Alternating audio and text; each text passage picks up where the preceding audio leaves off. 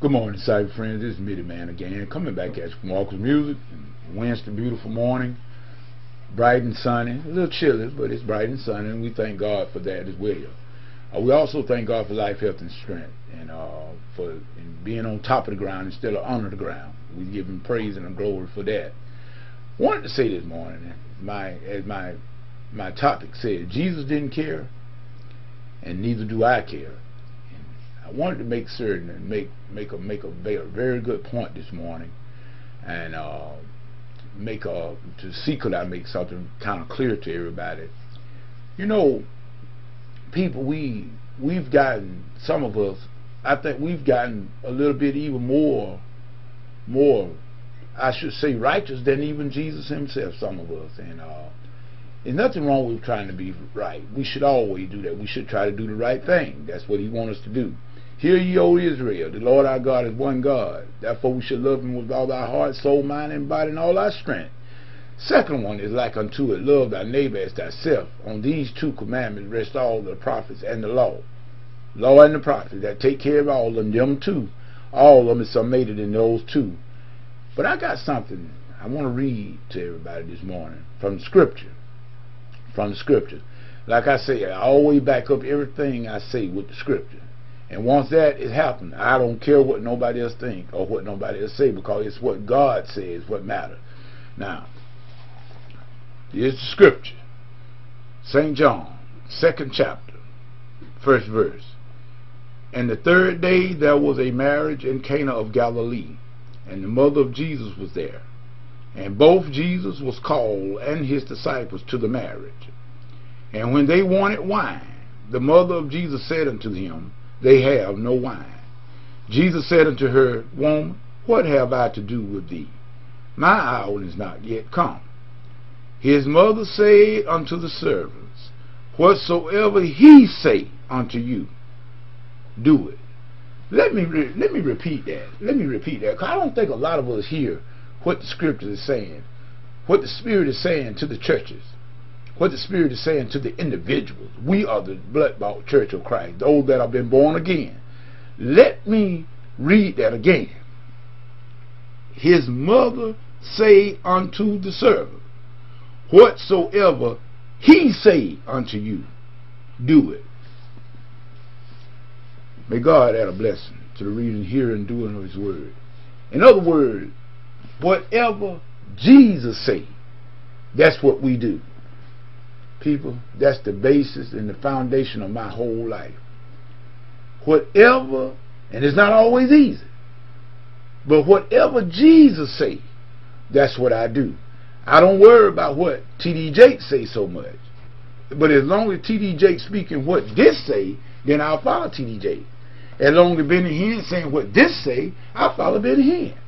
But whatever you go against the grain, that's when our middle man is not going. Jesus didn't care what people said, neither should you.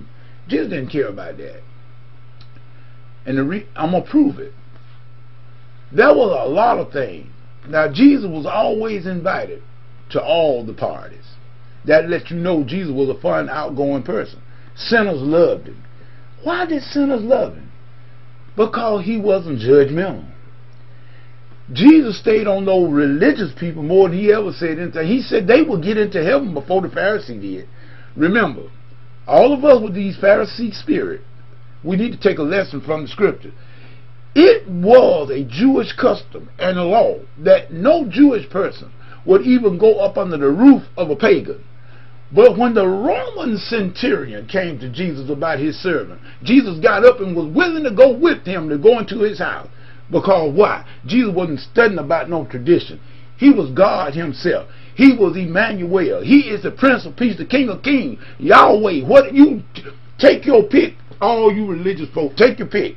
But all of them says the same thing. Whether you call him Yeshua or Jesus, they still talk about the same person. It's talking about the second person of the Trinity. It's talking about the Son. Whether you call him Emmanuel, whether you call him the lily of the valley, the bright morning star, call him what you want. But all of them talking about the same thing. People need to get out of that spirit. Do what Jesus say. Forget about popular opinion. People gonna say whatever they want to say. they go whether you do this, if you do it or this, somebody gonna have something against that. If you do it over here, somebody gonna have something against that. You're never gonna please people. Jesus couldn't even please all the people, cause a lot of them, when the when the teaching got hard, they turned and left Jesus. Don't worry, if they left Jesus, they're gonna show leave you, and and and, and even some more than others. So we cannot worry about what people say. What people say don't make no difference. They ain't not one of us out here. Me, JT, nobody else that's on the videos, on the YouTube channel, Facebook, and none of that other mess. Ain't none of us gonna be sitting on no throne judging nobody. But this right here gonna judge everybody. The word of God. So if you do what Jesus say do, rest assured you'll be all right. His mom said, whatever he say, do. That's what you do. Forget about people, please. Forget them. Because let me tell you something. Jesus was the sinner's friend. Jesus said, I came to seek and save those that are lost. And that was all of us. Ain't none of us got it worked out. So it's some good in the worst of people. And it's some bad in the so-called best of folk. You know, you, we, none of us have made it. But we going wrong by wrong. Round by round. We are, we are, we are pressing toward the mark. We ain't got there yet. And this is the problem that Jesus had with the Pharisee. They were always talking about they were so righteous and, and, and looking down on other folk. You better watch yourself.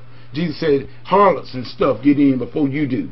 Jesus said that. That was his word. So I'm just take it for what you want.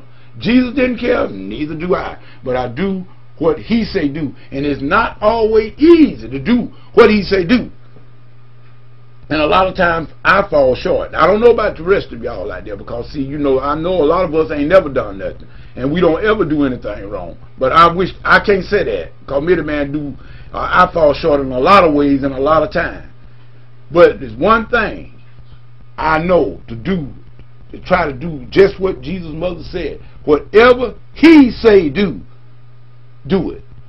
And that's all you need to worry about. With that being said, this is Midi Man saying peace. Goodbye.